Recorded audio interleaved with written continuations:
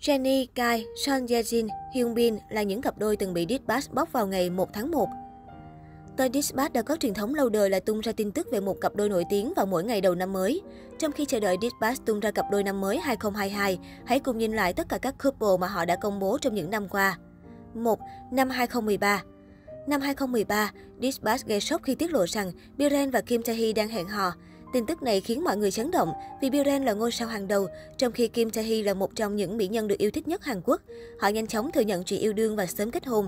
Năm 2017, họ về chung một nhà và nhanh chóng có với nhau hai cô công chúa. Cặp đôi ít chia sẻ về cuộc sống gia đình trên mạng xã hội, nhưng không ít lần, giới săn tin bắt gặp Biren nắm tay vợ dạo phố và khoác vai tình tứ. Ngôi sao điển trai còn có sở thích vào bếp tự tay bày biện nấu ăn cho vợ con. Anh cũng khẳng định rằng, tôi luôn cảm thấy biết ơn vì cuộc sống gia đình hạnh phúc. Tôi có niềm hạnh phúc mà không thể có được lúc còn độc thân. Chàng ca sĩ mắc một mí cũng hé lộ, vợ chồng anh chưa bao giờ cãi nhau hay xung đột gay gắt từ khi quen tới khi chung sống. 2. Năm 2014, tin tức gây sốc nhưng mọi người đều hoan nghênh là việc hẹn hò của Lee Seung Gi và Juna của Girl Generation. Cả hai được ca ngợi là một cặp đôi tuyệt vời vì đều được biết đến với tính cách tốt bụng. Tuy nhiên, họ đã chia tay sau một thời gian vì lịch trình bận rộn. Hơn 5 năm sau khi thông báo đường ai nấy đi, cả Lee Seung Gi lẫn Juna ngày càng khẳng định được tài năng và sức hút của mình trên địa hạt phim ảnh. 3. Năm 2015, Ngôi sao của Squid Game Lee Jung Jae từng hẹn hò với người thừa kế đã ly hôn Am Se Ryung. Mối tình của Lee Jung Jae và nữ tài phiệt trước giờ luôn được cư dân mạng quan tâm. Nguyên nhân chính là do thân thế của Am Se Ryung quá khủng. Bạn gái của nam tài tử là con gái của chủ tịch tập đoàn Daesang, hiện cũng đang nắm giữ chức phó chủ tịch tập đoàn Daesang. Am Seryung là vợ cũ của thái tử Samsung Lee Jae-young, có với người chồng cũ hai người con trước khi ly hôn vào năm 2009. Hậu đường ai nấy đi với Lee Jae-yong, Am Se-ryung đến với Lee Jung-jae. Cả hai vốn đã là bạn bè thân thiết, nên khi chính thức công khai yêu nhau, tin đồn nổ ra rằng cặp đôi thực sự đã qua lại với nhau từ trước đó. Dù Lee Jung Jae từng vướng phải tin đồn đào mỏ Am nhưng đến hiện tại cả hai vẫn hạnh phúc bên cạnh nhau sau 6 năm công khai.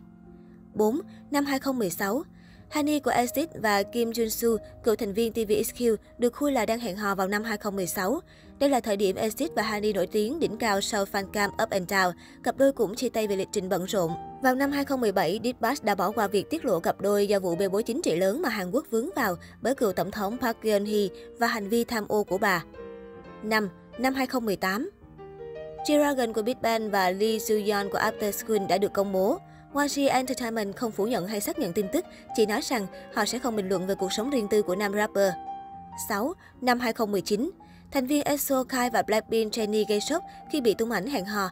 Người hâm mộ vô cùng náo loạn vì Jennie là nữ ca sĩ hot nhất Hàn Quốc vào thời điểm đó và mức độ nổi tiếng của EXO thì không cần bàn cãi.